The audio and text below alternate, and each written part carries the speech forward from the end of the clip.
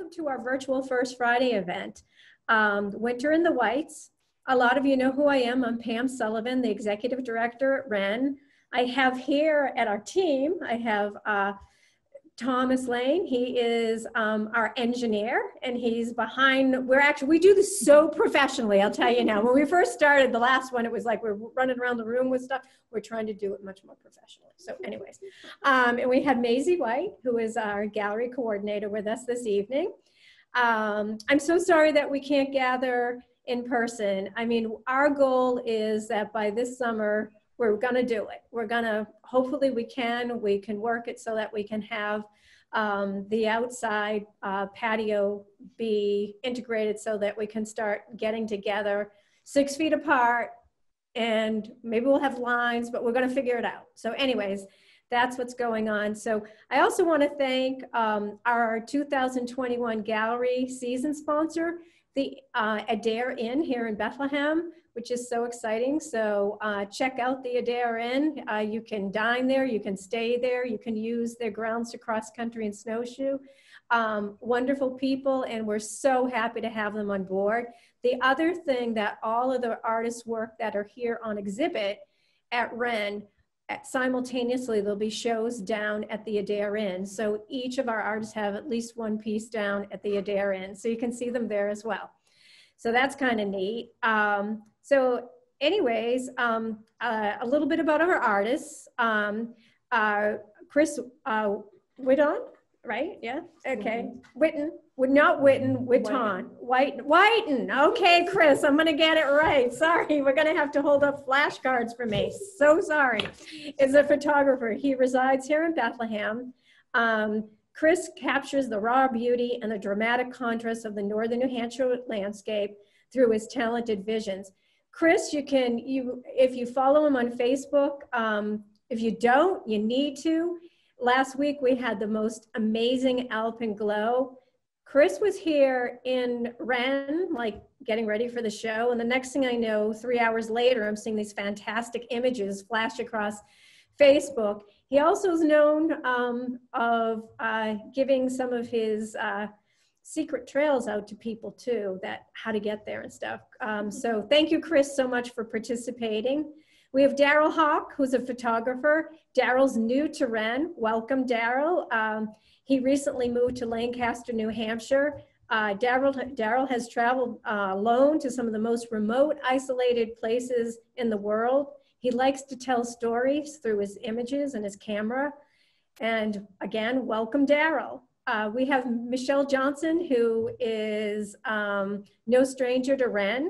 She's a painter. She lives in Colebrook, New Hampshire.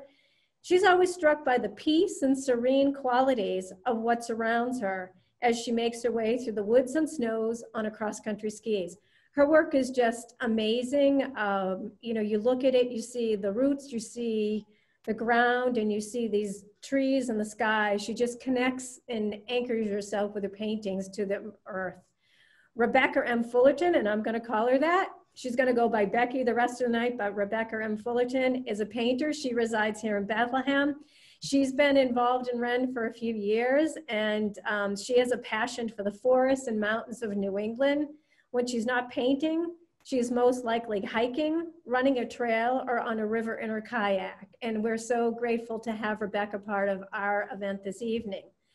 So what we're gonna do now is um, uh, we, we learned from our last experience that it's best to actually pre-record a video of the exhibition. And that's what we're gonna do of Maisie taking a tour around the actual gallery. So we're gonna have Tom bring that up and you guys can take a look at that and then we're going to continue with with some more of our programming so and sit back and enjoy Hi there, my name is Maisie Cash and I'm here at WREN at the Winter in the Whites show that runs from February 5th to March 28th. Okay, so first up we have Chris Whitten. He's a popular local photographer and he got all of his frames done handmade here locally as well, which is really cool. So this first one is called Winter on the Ammo Trail, and he perfectly captured what it's like to be hiking up to the top, uh, up to the summit of something up here in the winter, just coming out of the tree line. And he's got this green glow from the sky coming back behind, and it's really beautiful. Mount Pierce Alpenglow. These are all 11 by 17, these frames. And yeah, you can see this alpenglow, the, the classic pink that comes over Mount Washington when you're looking from Mount Pierce. Down below we have first snow from Cherry Pond. Cherry Pond is out in Whitefield, so very local to us. And you can see this beautiful reflection from the mountains into the pond with this dusting of snow and ice over the pond as well. Misty winter morning sunrise. I believe this river that he captured is out in Gorham, New Hampshire, and um, you can see the ridge line of the presidentials perfectly with this pink glow behind the trees and it's reflecting down into the river. And this is a 20 by, 20 by 40 floating metal frame. Um, next up is Winter Stone Wall, Sugar Hill View. It's an 11 by 17 and um, stone walls in Sugar Hill are super popular, so it's cool to have this captured with Cannon and Lafayette behind it and all dusted and caked in snow. Down below is the last light from Sugar Hill. It's a similar view as the one above, but with this, again, alpine glow of pink coming over Cannon and Lafayette as well. Um, and you can see a little house in the foreground, and it just looks so peaceful with all this snow dusting. And lastly, from Chris Whitten, we have Heavenly Winter Glow.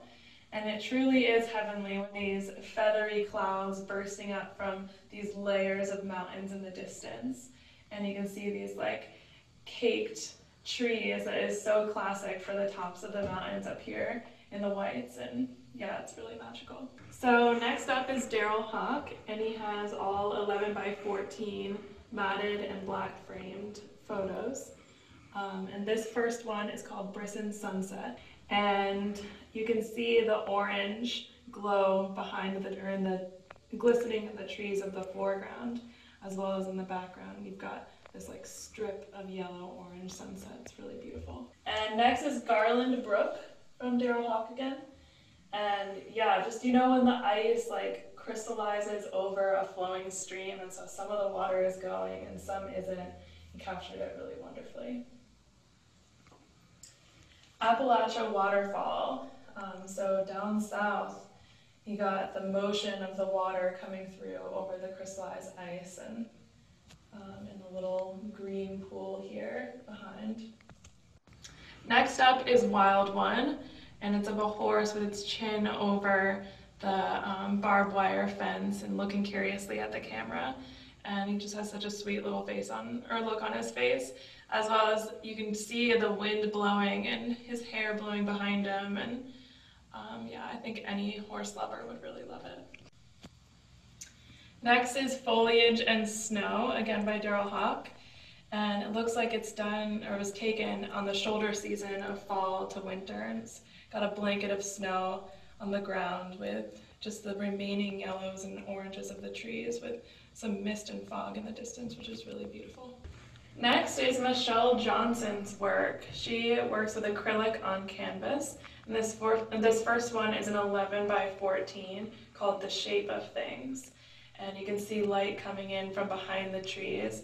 And she loves to capture what things would be like underneath the soil. So you can see these like speckled colors um, below the trees and just really magically captured.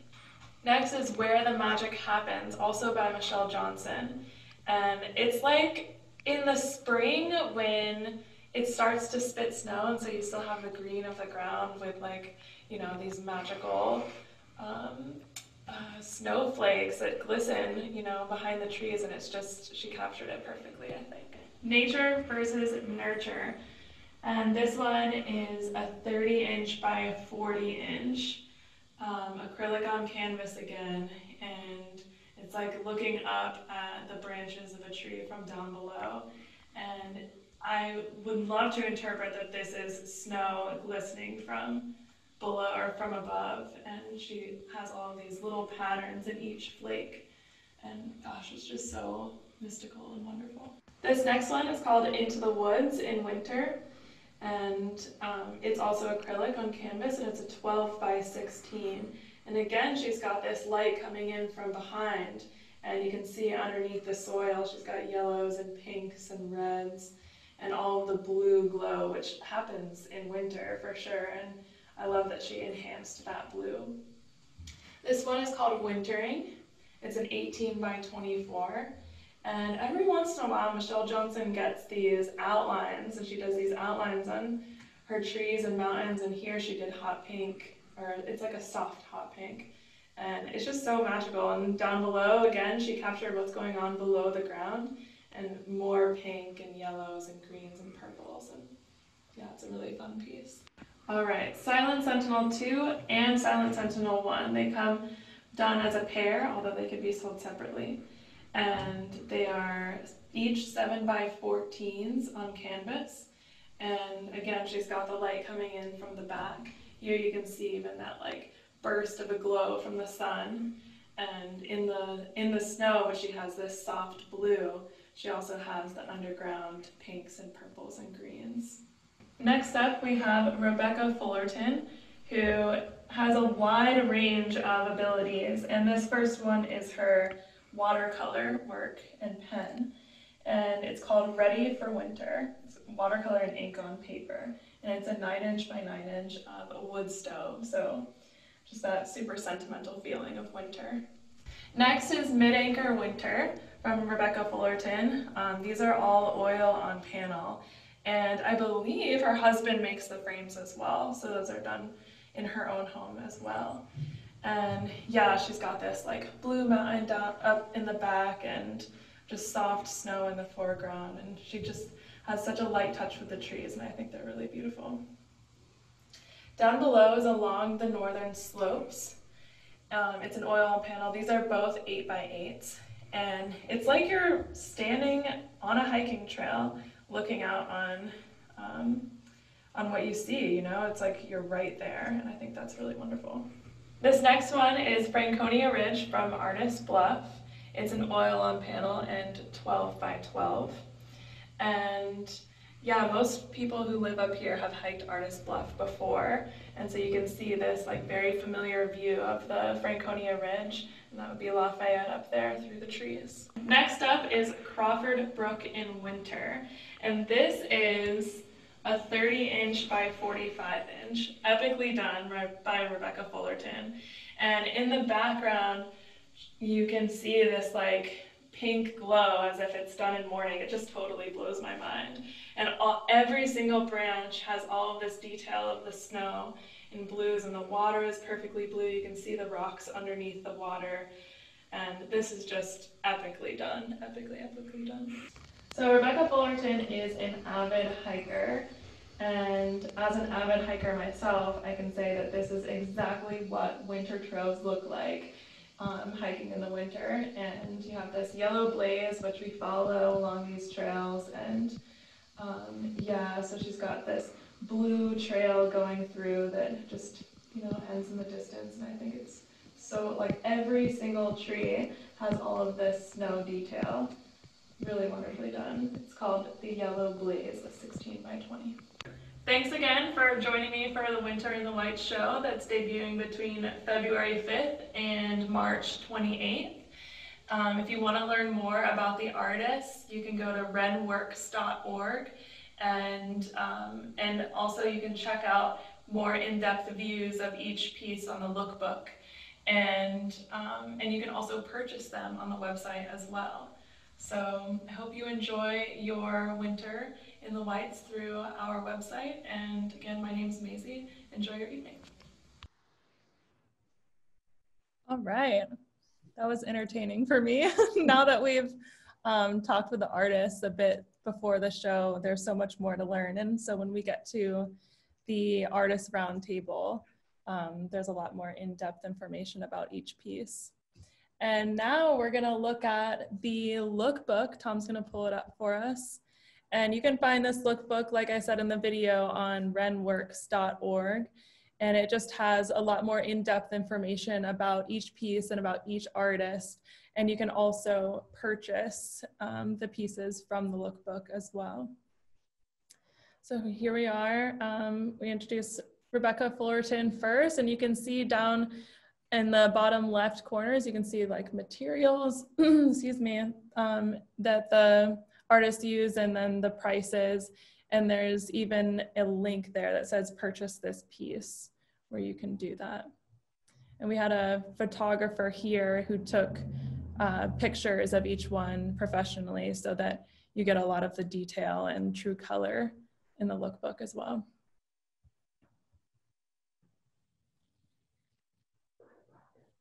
Yeah, so wrenworks.org.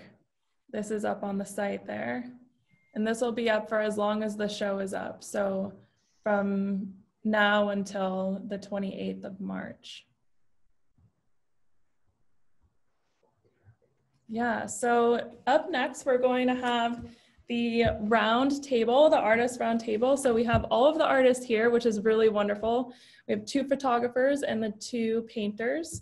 Um, so first up, we're gonna talk to Chris Witten, or Whiten, about um, about his photography. So he's a popular local photographer here, and he was the first one that I walked you through in the gallery. It's right behind me, actually. So, um, Becky, would you ask Chris about his photography? I'd be happy to. Yes. So, Chris, you are fantastic photographer here in the White Mountains, which of course are known for their rather uncooperative weather to begin with. But being a photographer here in winter, I can only imagine has many, many, many added challenges. And I wonder if you could talk a little bit about the the logistics and the planning and the misadventures that I'm sure go into venturing out into some of our higher summits in the winter because some of your work obviously you're you're going to places up high above tree line and um, being out there exposed in the weather for long periods of time. Thanks rebecca.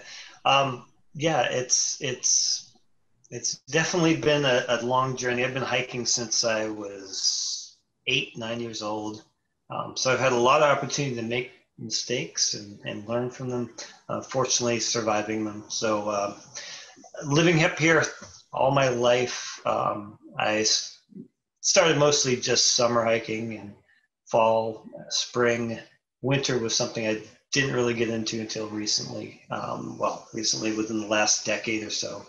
Um, and that was a learning experience. My my first couple outings didn't wear snowshoes. Didn't really know why I needed to wear them until I found out why I needed to wear them.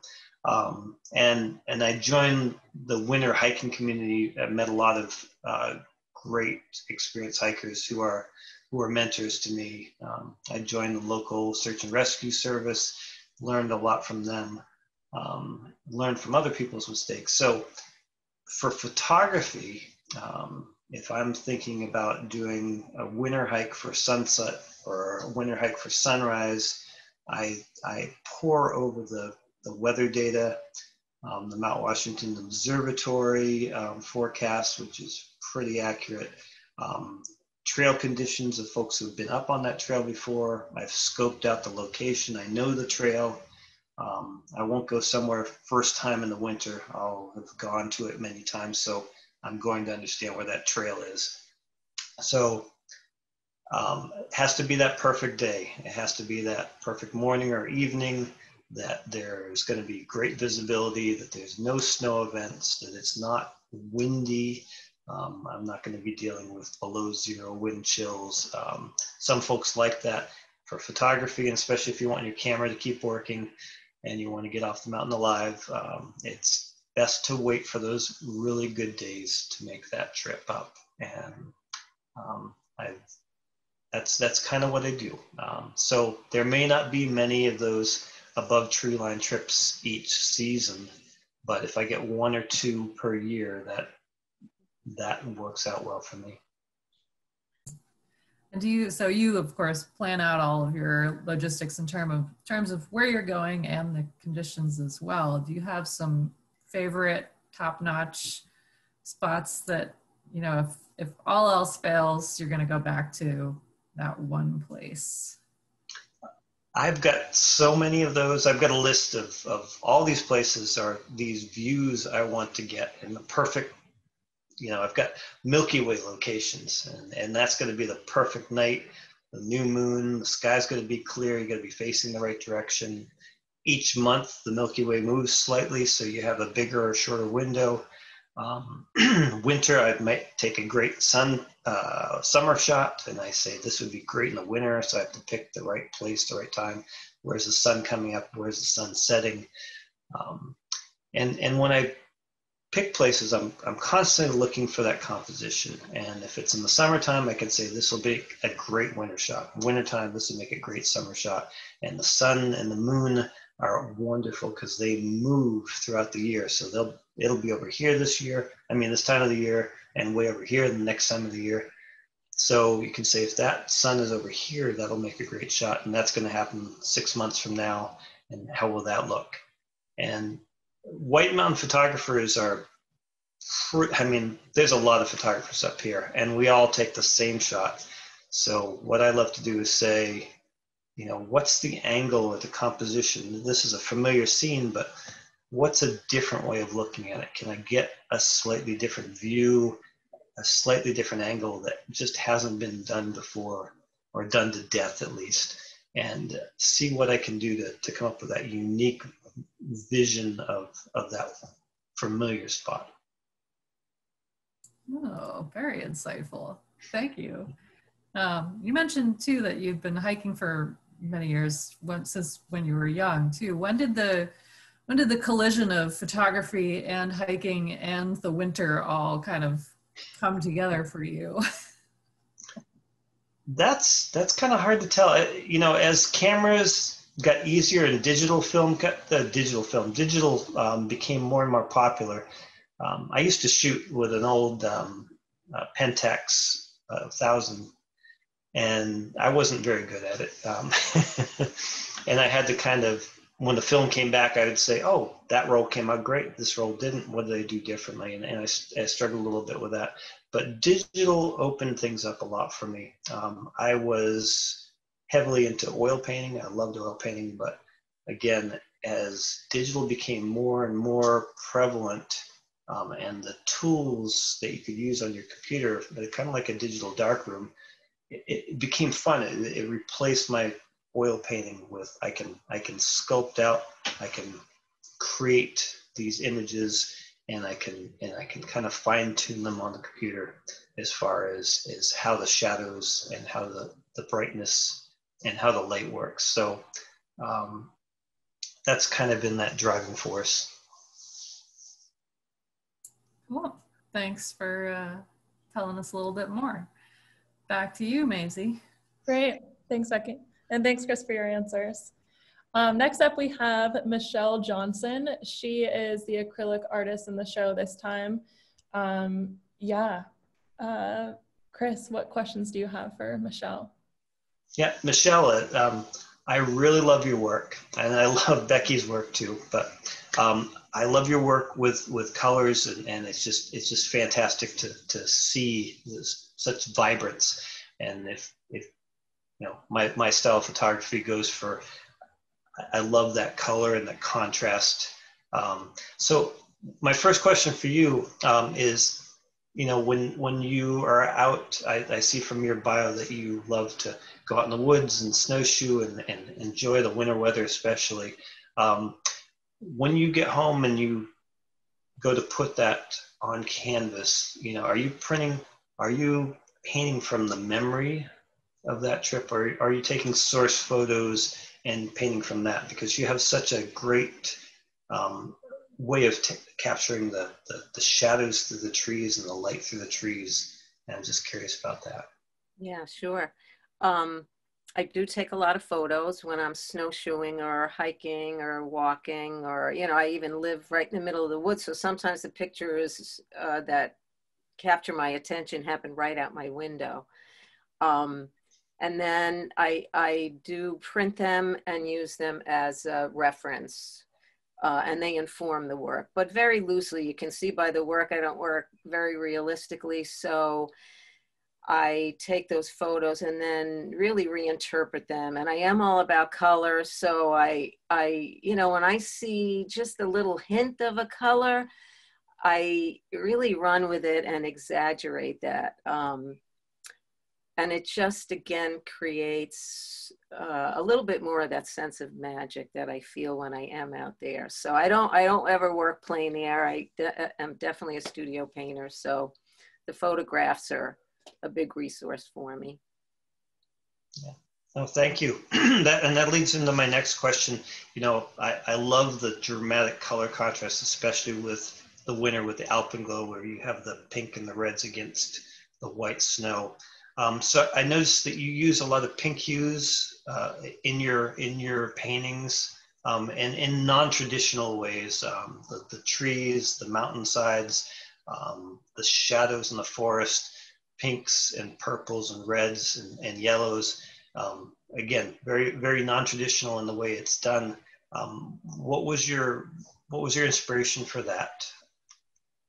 Yeah, it's funny. We I was talking to my son in my studio today because we, I had a lot of work with all that pink stuff going on, and I think particularly because this is a show about the winter. And for me, when I look at the snow in the winter, I see a lot of blue and I see a lot of violet.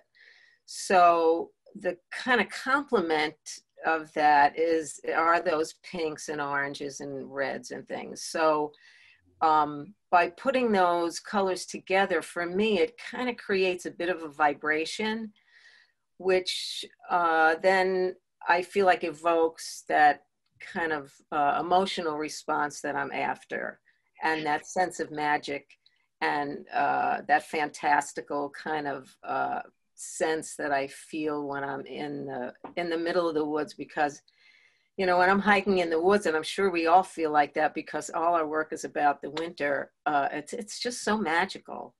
And so it's a way for me to kind of evoke that magic I feel.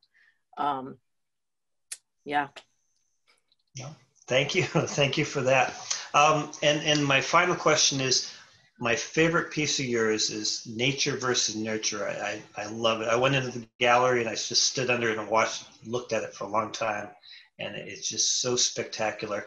But I wondered, it's such a unique name. Um, could you expound on your your reasoning behind that name? What was what inspired that name? Yeah, sure. Um, well, the nature I think is obvious. You know, I do a lot of paintings of trees and of course the landscapes. So um, that's sort of the nature part of the title. But then, um, you know, I think about my role as a, as a female artist, as an artist who's a mother and a grandmother, and uh, th- those those especially those spectacular trees uh, that to me are like mother trees. And in fact, I'm even doing some reading about how trees communicate and um, and there's a lot of talk about those mother trees and how they nurture the trees and the flora around them.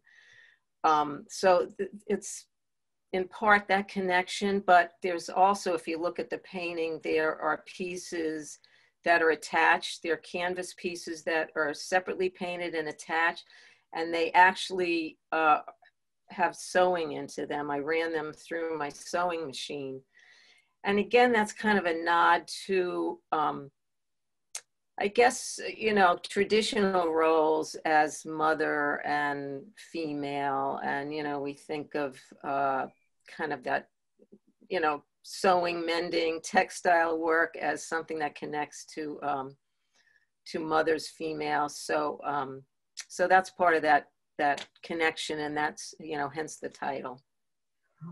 Thank you very much, Michele. Thank you. And back to you, Maisie. Thanks, Michele. So next up is Daryl Hawk, and he is the second photographer that we have in the show.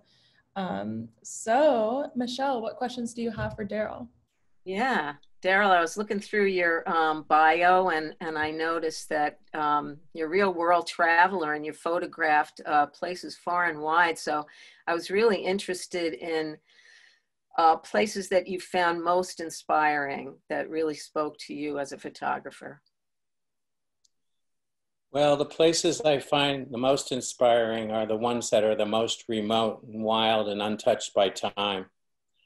I like wild places to be young in where my mind can run free and fast with the visual stimulation I experience from dawn to dusk. And uh, as much as I love photographing people along the way, because I'm a documentary photographer, I, uh, the common thread is I, I look for peaceful places places that are safe to travel alone, but places that are surrounded by powerful nature, a diversity of landscapes, and um, places that uh, more or less are still untouched by time. That's probably the most important thing I look for when I choose places to go to on a map. Mm-hmm. Can you name like a specific place? well, Bhutan was probably the most memorable, important expedition I ever did when I traversed it from west to east about uh, 20 years ago. And then I did an incredible journey in Ladakh, which is in northern India, in Kashmir. I traversed that all the way from Pakistan to Tibet and lived with uh, remote tribes and nomads. Uh, met the king of Ladakh and uh, crossed the highest road in the world at 18,000 635 feet. So those are a couple that come to mind right away, but uh, I have a special affinity towards South America. And I believe by now I've been to almost every country down there. And um, I, I, love, love documenting uh, the South American way of life. I have a great fondness and uh, affinity with the people who live there. My Spanish is getting better and better every year and um, continuing to, to do documentaries uh, throughout South America. Wow. Well, sometime when we have more time, I'd love to hear about those travels. It sounds amazing. But um, for now, I'm going to ask you a little bit about uh, the tools of the trade. You know, now we all have our cell phones, and a lot of us, you know, take pictures all the time. Um, can you speak to the differences or how you feel about uh, cell phone photography versus more sophisticated equipment? Yeah, I'm glad you asked that question because it is an important one. And, um, you know, over my career as a professional photographer, which has been close to 35 years now, um, I've always felt strongly that it's really about your awareness and capability of seeing the world up close, looking for the light, developing a keen eye for light, um, and being in the right place at the right time, capturing that decisive moment, and taking this camera and composing it, composing these scenes through the viewfinder, keeping in mind all these important factors. And of course, you want to have really good equipment to produce high quality images. But I'm the first one who will tell you that I never got hung up on equipment.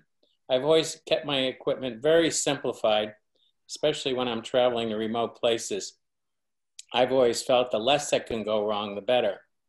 And I used to shoot with Nikon FM uh, cameras for many, many years. I was one of the last of the film shooters. And I swore I would never give up my film. But then along came digital, and I finally gave in, and I couldn't be happier now using digital Canon cameras with memory cards. It's much easier to get through airports. And uh, certainly the capabilities of a digital camera are remarkable shooting in low light situations and, and so forth. But I will also tell you, uh, I am a big fan of using iPhones for producing photos for all the amateur photographers out there or people who really don't have the time to devote uh, you know all their time and energy into producing images it's really about your relationship with the world around you and how you see things and then taking it to the next step and recording it in some way or another for your own personal enjoyment if nothing else. I've photographed hundreds of contests over the years and given a lot of lectures and it's really about the way you see the light you, how you feel and interact with the world around you, and to take a camera of any kind, including an iPhone.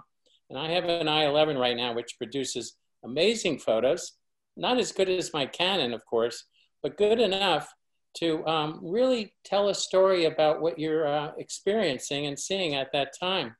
So I'm planning on giving a lot of workshops once we get through this pandemic internationally and even in the White Mountains.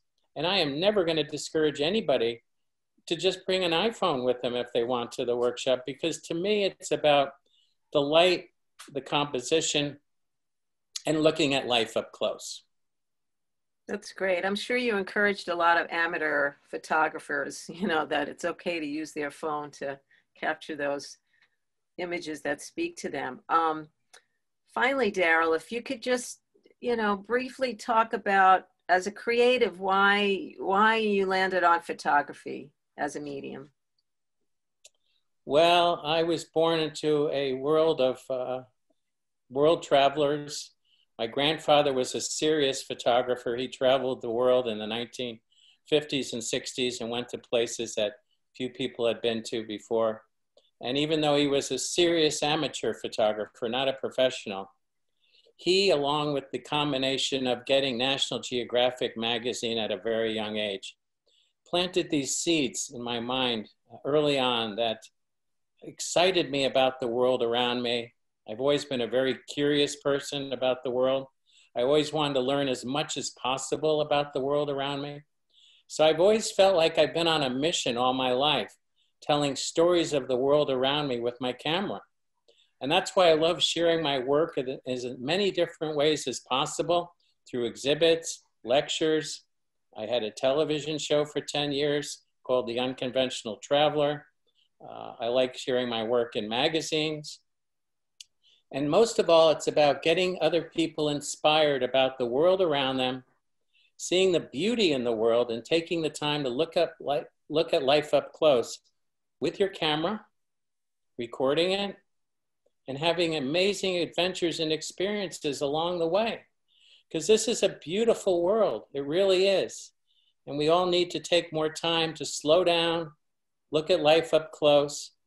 And if you can take it a step further and record it through the camera, so much the better.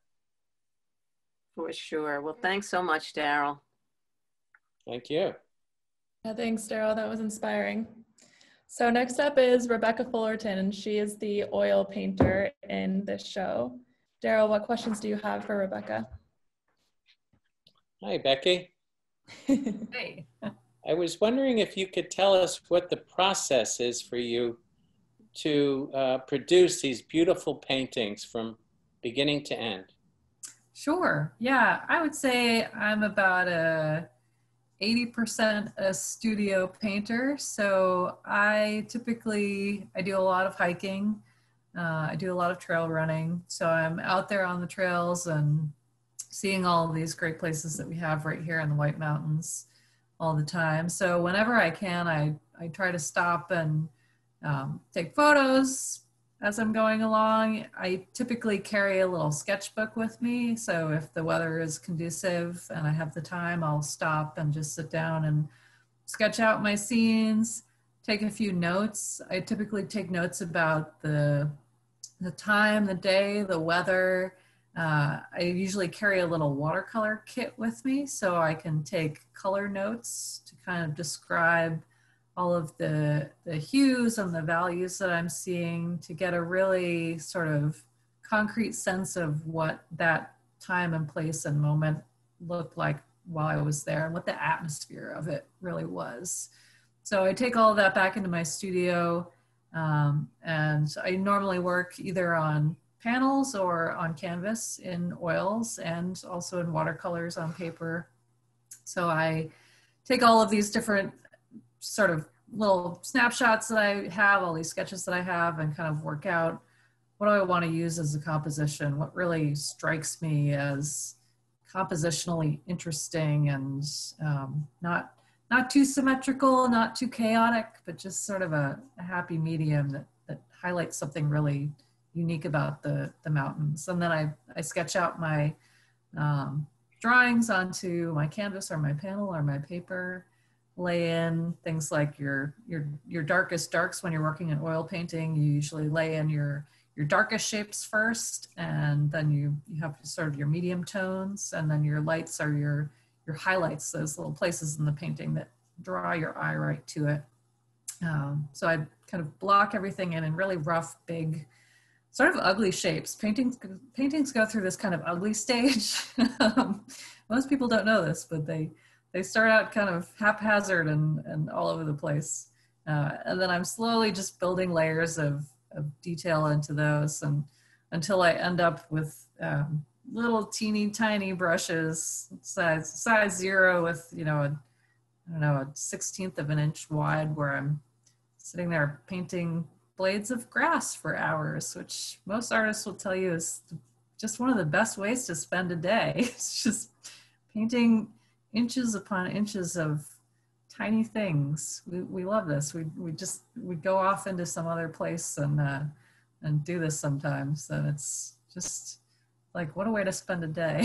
so that's kind of my process. It goes from these really kind of big, messy, sloppy, abstract things into these much more detailed, um, finished paintings. Well, it's interesting to hear you say that photography uh, plays a role in your uh, creation of paintings. And I'm sure you, like myself, feel we're very blessed to live here in the White Mountains with these incredible distinct seasons to draw upon. And I was wondering um, if you had a favorite season to paint in. Um, I, I mean, I love winter. I've been challenged uh, and inspired this year, especially to paint a bunch of new winter scenes. That the kind of the the strangeness of the shapes and the complexity of getting of expressing in paint the idea of shadow on snow is this endlessly endlessly challenging thing. But i'm i'm a sucker for a white mountain summer. They're so brief and they're so glorious. And just that that combination of the blue skies that we get and the big puffy clouds floating by and that just incredible intense green of our forests against the, that rough rocky you know landscape that we have. I'm a huge fan of painting rocks. I could also paint rocks for hours on end. Um, but I just love, and it, the summertime also allows you, of course, to, to spend a lot more time in the alpine zone above tree line in our mountains. So you get a much more immersive experience being able to travel in the warm weather and really just get out there and, and experience it all. So I'm a, I'm a big time summer fan, I would say. Yeah, a lot longer days with a lot more light to, to work with. Um, one last question.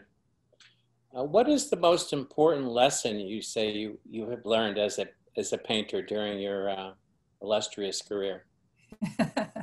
Don't know if I'd call it illustrious yet. we get there. um, yeah, I mean, I feel like as a as a painter, you you can go for years just sort of trying and failing. Not every painting is going to turn out. You have to be pretty accepting of of that idea. But I I always tell other painters to take classes and take workshops and, and learn from other painters. There's always going to be somebody that's technically better than you are, that has a greater mastery over whatever medium you work in. So I, I try at least once a year to, to take a workshop with somebody that I really, really admire and I really want to get some very specific things out of their teaching. So, for example, I took a workshop this past fall with Andrew Orr, who is an incredibly talented landscape painter um, over in Vermont, and he teaches these wonderful workshops. And he was describing the this this process of layering of of of building up a painting slowly and carefully, and his advice was always to, when you're laying out a painting, try to keep it as dark as possible, as soft as possible, for as long as possible. So it's almost like you're you're trying to paint the painting as if you're looking at the scene with blurred vision for the first third, maybe two thirds of the painting. And then eventually you really start to add in these little details and these sharp points. And it creates this incredible feeling of depth, of three dimensional dimensionality, but it takes incredible patience. And so the learning is is in learning to be patient and to go slowly with your work. It's I'm sure it's a little like setting up all of your camera equipment very carefully and deliberately to set yourself up for success. It's the same way with painting is you're just kind of waiting and going along and trying to set yourself up for great painting at the end. Well, thank you for that great insight. Sure. Yeah, that's really wonderful. All that artful wisdom. I feel like I just attended the workshop. um, so next, if I want to open the floor to anyone who would like to ask the artist questions. It's so. just a question in the chat room. Oh, I have to learn how to do Go this. down to the middle, go down right down here. Okay, I see. Oh, yeah, yeah. yeah. And then get So, um, Kate asked, Chris, do you frame a shot more by color or light and shadow? Oh, that's a good question, Kate. Um, light is everything with photography, so it's all about the light. Um, I frame a shot with the components of what I'm looking at. Um, I like balance, and when I take a picture, it's just got to balance. Whether whether you use the rule of thirds or you use um, the, the magic circle or spiral or whatever you use, to me, it's just does it click? And if I look at it and it clicks, I'm happy with that composition. And then light has to be the, the, the big factor as to how it works as an image. Because you can take a flat image of anything and, and it can look nice and it can be a good shot, but the light turns it from a photograph into into a work of art. And so I look for that light. Great. Um, oh, here we go. Oh, I did. yeah. Becky, oh, this is hiding. Um, You can click that, yeah, go ahead. Close. We're just go down here and here, oh, I see. just small. and s- Maisie has to learn how to use a computer here. Okay, so um, Becky, are you always looking for the perfect trail to capture in your works? Ooh, yeah. Yeah, boy, trail us us trail nerds. always let man. I'm always looking for that perfect combination of if it's if it's a trail in the forest, there's got to be just that kind of that right combination of rocks and you know maybe it's i see a trail and i think oh that that just looks so perfectly like rugged and craggy and i want to want to capture how difficult this trail looks. Or if it's something that's weaving across a ridge line you you're always trying to kind of place it within the composition or find a composition that that just makes it like you want to walk into the painting and just follow that off into the distance. So yeah trails are and it's it's that sign of life too. It's it's not only pure nature but it's that sign that that humans have been there that we've we've carved this like weird little path through the wilderness. And um, it just kind of shows that that that presence of us. And and of yourself too. If you see a trail in a painting you you sort of naturally gravitate towards seeing yourself on that trail. So it's yeah there's a uh, there's so many good ones here too. I'm sort of casually redlining. I'm trying to hike every trail in the white mountain national forest which is a, quite a task. I i'm not very um, kind of really motivated to just do it all at once but i'm always up for a new trail for sure Wonderful. Um, Becky, while we still have you on here, um, tell us about the photo behind you. Oh, yeah. So this is one of my uh, older paintings from 2013. Oh my gosh, it's eight years old now. Um, so this is my mom in the 1950s when she was growing up, and she lived in Vermont. And my grandfather, they moved up from Long Island, so they were they were flatlanders. They were New Yorkers, and they moved to Vermont. They bought this little motel, and my grandfather was told, "You have to go hunting. You have to be a hunter to live up here in in rural Vermont." And so he went out hunting, and he stopped the car and saw a deer along the side of the road, and he shot it and put it on the hood of the car and went home. And he never went hunting again. this is a, a representation of the one and only deer that my grandfather ever shot. And they made a big production out of it. That oh, what a great story. Bagged this deer. So yeah. So that's my mom. Mm-hmm. well, Kate's wondering, Daryl, with all your travels, with all your travels, what surprises did you discover that you didn't know before stepping foot in the location or meet the people? Also, is there, is there an experience that always escapes photographic capture?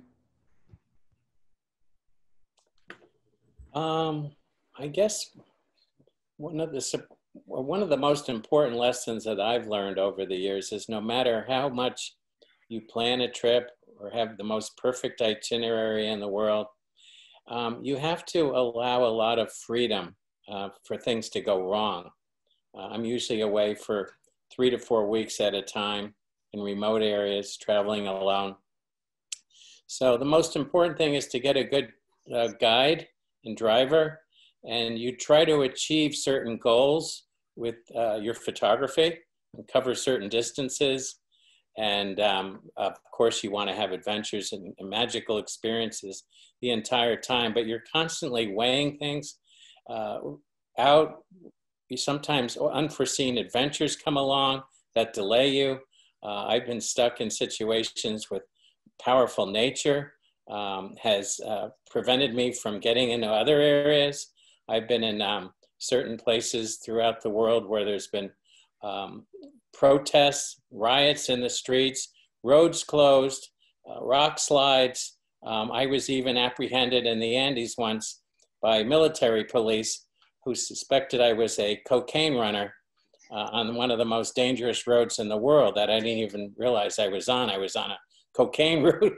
So the bottom line is that things happen when you travel and you just have to go with the flow, expect the unexpected, um, and, and allow a certain amount of freedom for things to go wrong and, and just have really good, good instincts. Um, and, and be on guard at all times, but always think the best and always be positive about uh, what's happening and, and the people around you. And what was the second question? The second question is Is there a story behind the horse in the wild one? Oh, the horse in the wild one. Yeah. You know, uh, one of the things uh, I love about being up here in the White Mountains is I'm surrounded by horses wherever I go, especially here in Lancaster. It's great. I love horses. I've been riding all my life, and I've been doing a little riding already with a neighbor's horse down the road. But uh, there's something really magical and beautiful about a horse. I love watching them uh, run free. Um, I, I, love watching them, just observing them up close. There's about five horses a mile down the road that I walk to almost every day and feed them carrots. And they're beautiful. They're beautiful animals. And so I hope to photograph uh, horses more and more because I think it's a universal subject that most people can relate to and feel a strong love uh, for when they when they see the beauty of a horse, especially up close, as you saw in one of my photographs. For sure. Well, Michele, Tom and I are wondering if you developed this style that you have over time, and um, if you ever did realistic, like more realistic pieces. Oh. Oh, you're muted, you're Michele. Muted. There we go. There, yeah. Okay. Okay. Yeah. Perfect. Yeah, you know, I, I when my kids were little, my medium was colored pencil. Mm-hmm. So I did very hyper realistic stuff. Um, and of course, in the beginning, you're so focused on on technique you know, mm-hmm. and getting things right. And I think everybody starts out in realism in a way because you're you're learning how to draw and paint and all that. So um, I started out like that. And then when I got into painting, you know, I started to move into uh, painting from emotion a little bit more. And then finally, I got my master's, my MFA, and that's what really prompted this new style because I was so pushed into digging deeper into why. Why do I choose the landscape? What, you know, what's the deeper meaning in painting the landscape? I couldn't just say to my mentors and the, the you know, the critiquers that, uh, you know, was beautiful. And I, and I was, you know, I wanted to paint a scene because, uh, because it just spoke to me because it was beautiful. Mm-hmm. So I did a lot of research and uh, really started to delve into really why, what, you know, what's my connection to the landscape? And, and that's when it brought me to um, thinking about, well, I started to think about my childhood and that connection. And, and that's when the magic started to, you know, come mm-hmm. forward a little bit more in the paintings. And then, and then I started to, and I continued to do that reading about uh, the landscape and not just the surface of the landscape, but what's happening underneath, and particularly what happens with trees and how they communicate, because trees are such a big subject for me. So I'm really kind of in the midst now of reading about uh, the amazing stuff that happens with trees and how they communicate and how we're connected to them as as creatures in the land you know? So that's kind of my ongoing quest but that's how the style develops. And you know my hope is that it just continues to morph and and do different things you know? I'm kind of excited to see where it'll go from here. Yeah. Well that's so inspiring to hear. I identify so much with your work and it's really nice to hear about your journey because yeah, I'm somewhere there in the very beginning. Yes. Yeah. uh, thank you. And thank you for, to all the artists for being here all in one place. I think it's, you know, it is unfortunate that we can't all be together, but there's something about this virtual space that feels like we can really just drop in and be with each other. And yeah, so it's a really special thing. Thank you so much. Thank you, everybody, for coming tonight. What a great evening. Um, thanks, all of you. Thanks, Michele. Thanks, Daryl. Thanks, Becky. Thanks, Chris. Um, and, um, you know, if you can't make it here, again, go online, take a look at it. I think we're going to try to go and post. Can we, are we going to be able to post the Zoom thing? We will post this, um, a recording of this on our website so you can take a look at it. Um, this, again, exhibition is up through the end of March. And then our schedule after that is the next show will be um, color and that will be the works of um, Pam Tarbell and Ann Sanderson.